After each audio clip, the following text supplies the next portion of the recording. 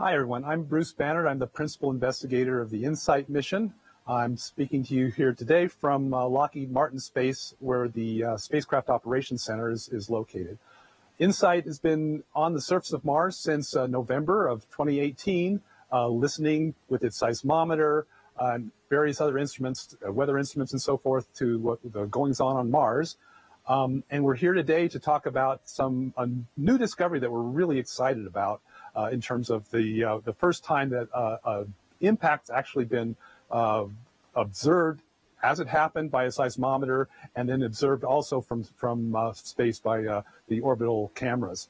Uh, before we get into that, though, I'd like to uh, tell you a little bit about the uh, spacecraft status on Mars. can we have the first image, please?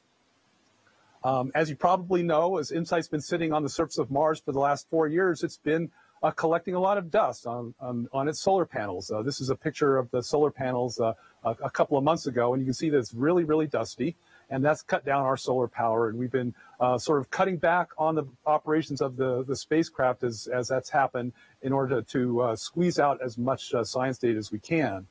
About a month ago, we got a, an additional challenge to the spacecraft. If I could have the next image, this is a a global mosaic of Mars. It was taken over the course of a day, and it shows a large dust storm in the southern hemisphere that started kicking up about a month ago. Uh, if you go to the next image, you can see the dust storm uh, shown in uh, uh, uh, the orange, so you can see where it is.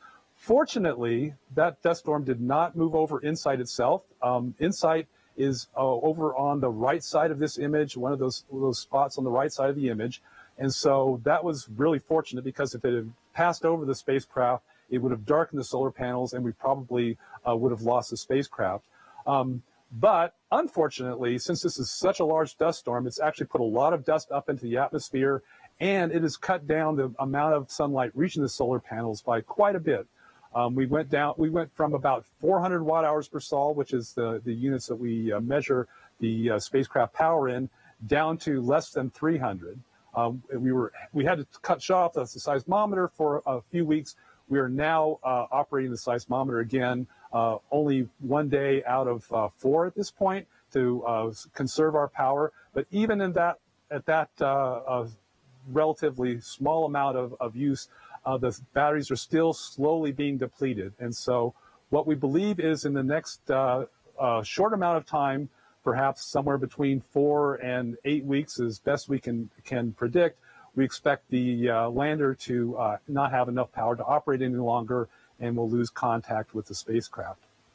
So that's a, a, a sad thing to, to, to contemplate, but InSight has been working marvelously for the last four years. We've gone well beyond uh, the intended lifetime of this of the uh, the mission, which was two years. We've been collecting data and even now, as we're, we're winding down, we're still getting these, these amazing new results. Um, if I can have the, uh, the next animation, this is, uh, oh, this is a, a, an image showing that the, uh, the relative locations of the InSight lander over on the left-hand side of the image, and this impact that uh, caused a crater that we were able to pick up with our seismometer and that was later imaged um, with the uh, Mars Reconnaissance Orbiter.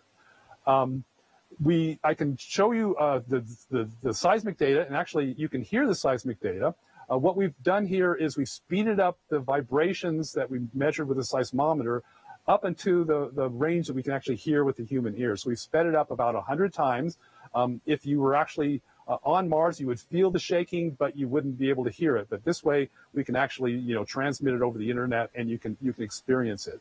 Um, this is about 45 minutes of, of uh, seismic data and you'll be able to hear it in a little less than half a minute. So if we can go ahead and roll that animation now, um, you can listen closely to the sounds of Mars.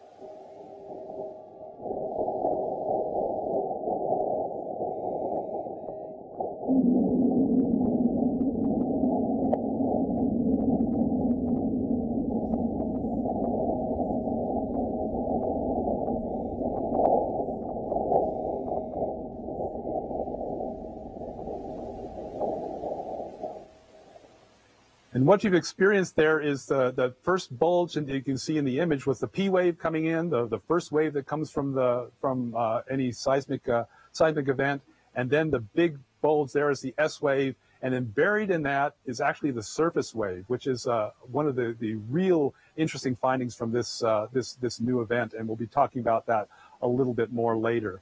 Um, so with that, I'd like to hand it over to uh, Lilia Posiolova to talk about how this, uh, this really interesting discovery was made.